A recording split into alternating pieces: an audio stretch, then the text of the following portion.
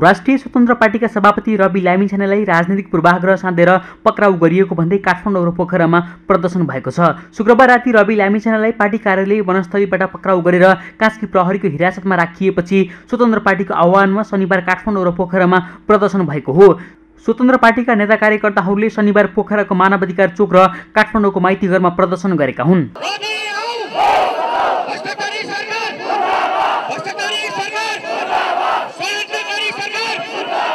प्रदर्शनका क्रममा स्वतन्त्र पार्टीका नेता कार्यकर्ताहरूले सत्तारूढ दल नेपाली काङ्ग्रेस र नेकपा एमालेका विरुद्धमा नाराबाजी गरेका थिए।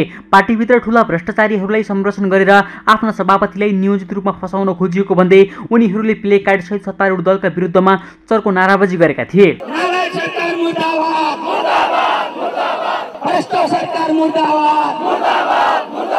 स्वतन्त्र पार्टीका नेताहरूले काठमाडौँ र पोखरा बाहेक देशका विभिन्न ठाउँमा बैठक बसेर रवि लामिछानेको पक्राउको भत्सना गरेका छन्। शुक्रबार राति पक्राउ परेका रवि लामिछानेलाई शनिबार बिहान तीन बजे स्थल मार्ग हुँदै पोखरा पुर्याइएको थियो।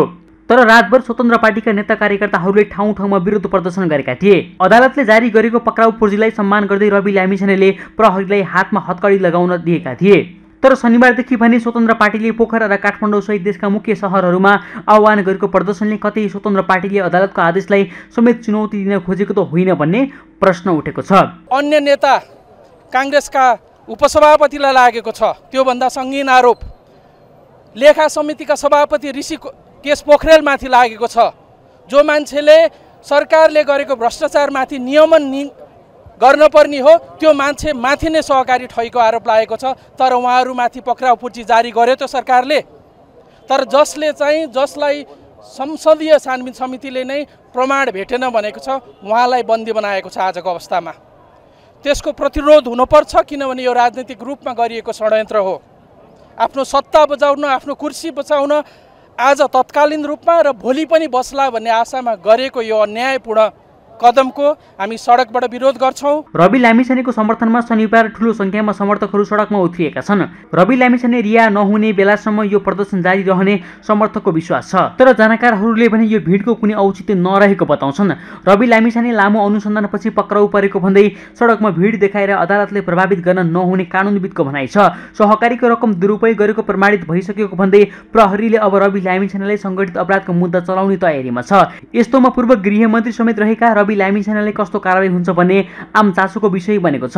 रवि लामिछाने विरुद्ध सङ्गठित अपराधको मुद्दा चले पनि उनको सांसद पद तत्काल भने बहाल रहने भएको छ। उनलाई चाहिँ अब सहकारीको ऐनको दफा एक सय बाइसको कसुर भन्ने देखिन्छ प्राइम फेसी रूपमा। त्यसपछि त्यसमा एक सय चौबिस अनुसार यदि दस करोडभन्दा बढीको रकम अवचलन भएको छ भने आठ वर्ष कैदको कुरा कानुनमा बन्दोबस्त गरिएको छ। तर उहाँलाई अब सङ्गठित अपराध पनि जोडिएकोले त्यो स्थापित भयो भने फेरि त्यसमा डेढी सजाय हुने बन्दोबस्त छ। र त्यति मात्र होइन यसमा चाहिँ मल्टिपल क्राइमहरू अरू विभिन्न किसिमका अपराधहरू पनि देखिन्छन्। सम्पत्ति शोधीकरणको कुरो पनि छ। अब कृत्यको कुरा पनि छ। अब धेरै किसिमको अपराधहरू जोडिएकोले अब यो कुन कुन ठहर हुन्छ कसरी के हुन्छ यो ट्रायल प्रोसेस कसरी अगाडि बढ्छ त्यो हामीले हेर्नुपर्ने हुन्छ।